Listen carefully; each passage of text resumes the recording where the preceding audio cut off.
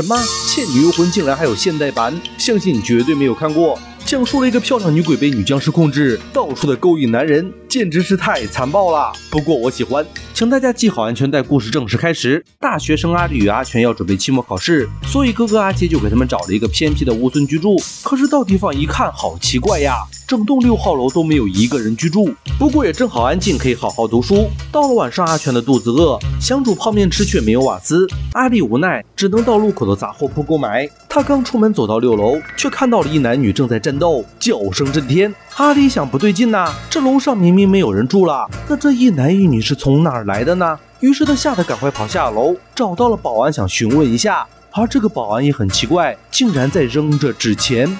楼上是不是还有人住啊？小伙子，在这儿最好别多管闲事啊。阿丽有些害怕了，买了瓦斯就准备赶快回去，可是又是走到六楼，却碰到了一个脖子在流血的男人，一把抓住了阿丽的脚，求他救命。阿丽想要报警，却发现自己没有拿手机，于是赶快跑了回去，找阿全要来的手机报警。只是警察来后，大家再回到六楼一看，别说是人了，就是一滴血都没有看到。第二天，阿丽把这件事情告诉了女友阿奇。阿奇觉得可能是阿丽读书压力太大，需要放松一下，于是喊来了闺蜜要去乌村陪阿丽一晚。今天晚上打算煮什么炖给我吃？嗯，双皮奶。双奶。到了晚上，闺蜜真的做好了双皮奶，把阿全吃的是热血沸腾，满口胡言。吃着你的奶，那种清新的感觉，就好像我和你披着轻纱在沙滩上漫步一样。好自在。而这时，阿丽又听到了外面鬼叫鬼叫的声音。她为了证明自己昨晚不是眼花，于是又跑到楼下查看。没想到，还真的看到了一个穿着白衣的美女。美女说自己的名字叫做小玉，和两个姐姐住在六楼的六十六号。大姐的名字叫做露丝，二姐的名字叫做玛丽。其实这两个姐姐根本就不是人，而是百年僵尸。天天晚上，他们都会带不同的男人回家吸血，只要吸够了九十九个坏男人的血，再吸一个好男人的血，从此之后就不再害怕阳光了，可以白天出门害人。而他们也认定阿丽就是那个好男人，所以让小玉明晚去把他勾引过来。这点我就很奇怪了，阿丽有女友还可以被小玉勾引的话，凭什么说他是好男人？如果是好男人的话，就勾引不来，那还派小玉去干嘛呢？另一面，阿丽回去后也不和女友干正经事，一直在说这里还住着其他的女人。那阿七只能认为是阿丽脑子有病，于是第二天就找到了一个知名的大骗子马大师，让他装模作样过来看看，告诉阿丽这里很干净，根本没有鬼。天还没黑呢，当然没有了。哎，你不信？我今晚陪你出去转转，用我这块照妖镜一照，什么原形都显出来。到了晚上。三人拿着照妖镜在六楼下溜达，果然没过多久，他们就看到了小玉。原来呢，小玉是出来买夜宵的。大姐听到动静也走了出来，还邀请他们回家坐坐。我叫露丝，小玉的大姐，不嫌寒酸的话，来我们家坐坐吧。反正闲着也没有什么事，于是大家来到六六六做客。阿全刚坐下，就被二姐玛丽的好身材吸引，把女闺蜜的双皮奶忘了一个干净。而这时马大师突然发现，这两姐妹非常奇怪，竟然在镜子里面看不到人。那不用猜也知道，她们根本就不是人。于是赶快带着阿全与阿丽离开了六六六，出门就打了一个车，赶快逃离了这里。阿丽其实也没搞清楚什么情况。正当他准备找阿全聊聊的时候，突然发现阿全不见了。其实呢，阿全这个小色批已经回到六楼找到了玛丽。可是这时，玛丽突然变成了僵尸，她直接扑向了阿全，对着他的屁股就咬了一口。阿全的表情还十分的享受，看来咬得很爽嘛。到了第二天晚上，阿全却发现自己竟然长出了一颗僵尸牙，而且呢，对阿丽的脖子十分感兴趣，十分想咬上去一口。就在这危急关头。小玉却赶了过来，一把推开了阿全，把阿丽救了出去。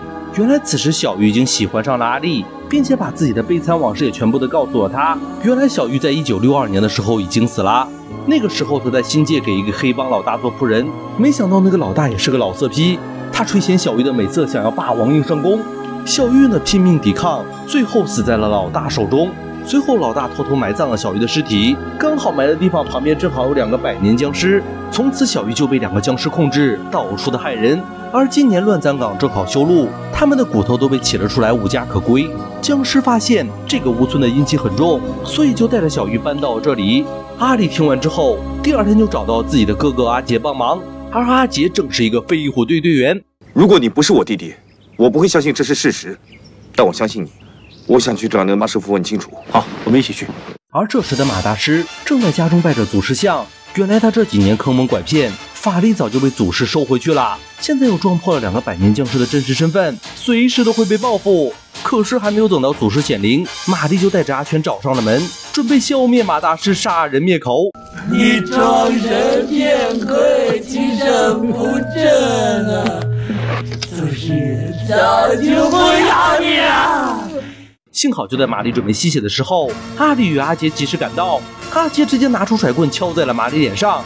大师与阿丽也趁机拔掉了阿全的僵尸牙，不过这时玛丽突然发飙，伸出了利爪，对着阿杰就是一通挠，把他的衣服都给撕掉了。马大师赶快告诉阿杰，要消灭僵尸需要刺穿他的心脏。阿杰也拿起了七武器之首的折凳，对着玛丽就是一顿输出，还卡住了他的双手。马大师赶快拿出桃木剑，刺在了玛丽的胸口，成功的消灭了一只百年僵尸。随后呢，他们又逼着阿全做卧底，想要打入僵尸的内部，彻底的消灭他们。要做卧底，我叫做无间道的刘德华。嗯，刘德华跟梁朝伟有什么分别啊？不要吵，我要死的吧？随后，马大师穿上了道士袍，跪在了祖师像前，诚心忏悔，希望可以给他二十四小时的法力，去消灭那只僵尸。阿杰就更给力了，他叫来了整支飞虎队帮忙。马大师带着阿里与阿全冲进了六六六，不过这里一只僵尸都没有。原来想要进入僵尸的空间，需要先降低人体的温度。等到他们到了僵尸的空间，一看，这里已经摆好了礼堂。原来今日小玉就要嫁给鬼王大个子彪，哈利当然舍不得啦，上前就一把抢走小玉。马大师也出手消灭了旁边的僵尸，只不过鬼王也不会允许别人坏他的好事，马上就要冲上来抢回小玉。幸好马大师早有准备，用灵符将僵尸困了起来。哈利也拿出了金刚经，不断的念出那句经典的经文：“般若波罗蜜”，把一群僵尸搞的是痛苦不堪。鬼王不甘束手就擒，他直接扔出了阿全，用他破了那道符咒。马大师一看情况不妙，连忙射出法剑，一剑就消灭了鬼王。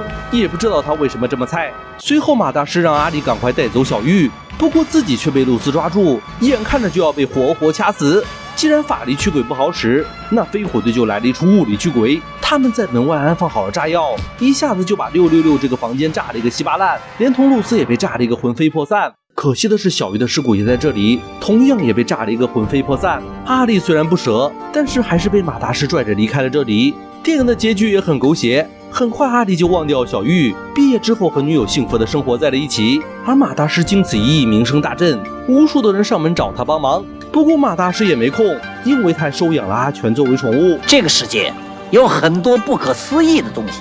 故事到这就结束了。本片名为《爱上失新娘》，也叫做《僵尸秘籍》，上映于二零零六年。拍摄公司是中国星，出品人是向华强，编剧是王晶，导演是霍耀良。所以嘛，豆瓣评分四点七，是一个理所当然的分数。故事也很简单，照着《倩女幽魂》抄了一遍。但是无论剧情还是深度，都不如《倩女幽魂》。《倩女幽魂》除了爱情外，还在借鬼喻人，描绘出了一个黑白不分的世界。但是本片却极为简单，僵尸要害人，女鬼爱学生，一切都是那么低幼。尤其是导演的拍摄手法，一直在那不停的闪呐闪呐闪，把人闪的眼睛都要花了，简直是太讨厌了。本片的配角安志杰其实是我很喜欢的演员，可惜生不逢时，在一个港片开始没落、星二代横行的年代出道，只能在各种的电影里面做做反派、做做配角，未来应该也不可能再翻红，十分的可惜。好了，本期就到这里。视频制作不易，希望大家点个赞。喜欢看港台电影的朋友也别忘记关注一下。谢谢收看正说电影，我们有缘再见。